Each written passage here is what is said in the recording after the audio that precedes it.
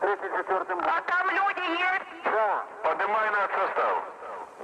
поднимаю, начальника поднял. Так всех, всех, весь офицерский состав, офицерский корпус поднимай.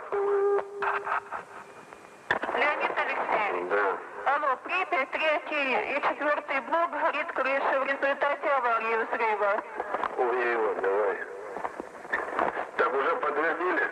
Не подтвердили, авария там произошла у них. Это диспетчер Припяти сказала.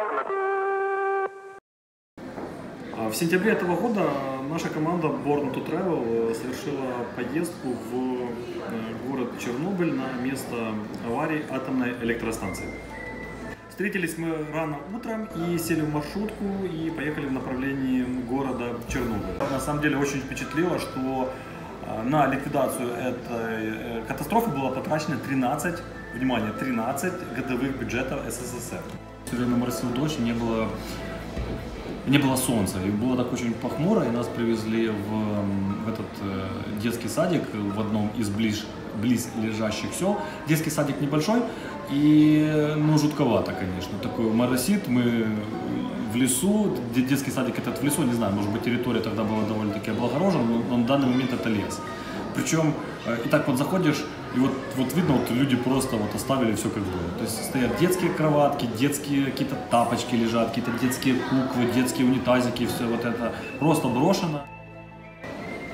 В то время советские инженеры пытались использовать э, технику на дистанционном управлении, чтобы не привлекать э, человеческие резервы.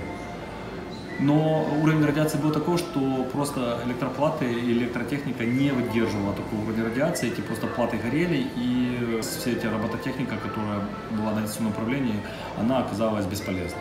30-километровая зона вокруг Чернобыля, она ограждена и туда ограничен доступ человека. Соответственно, все эти все, все животные, они понимают, что на них никто не охотится и размножаются бесконтрольно. Вернее, они просто размножаются, им никто не мешает. Поэтому видели из леса, то есть мы реально видели, как из леса вышла лиса, и мы ее как собачку так, и она реально подбежала и ела с рук. Мы были в таких зданиях э, старой постройки, в которых 30 лет уже не бывало ни нога, ни рука человека. И что могу вам сказать? Могу вам сказать, что, скорее всего, через 30 лет мы эти здания уже не увидим. В некоторых зданиях э, был провален пол, в некоторых зданиях была провалена крыша. И экскурсоводы рекомендовали нам быть крайне аккуратными, как можно было реально где-то провалиться или поймать какой-то кирпич себе на голову. В конце экскурсии каждый участник проходил э, радиометрический контроль. То есть при выходе мы проходили через специальные, через специальные ворота, которые показывали, если ты где-то заражен, то даже прям показывали участок твоего тела, одежды, где находится радиоактивная пыль. Э, Затем мы поехали на огромнейшую военную установку, это называется радиолокационная станция, которая поражает своими размерами. Высоту на 150 метров, и она была разработана для выявления запуска вражеских ракет.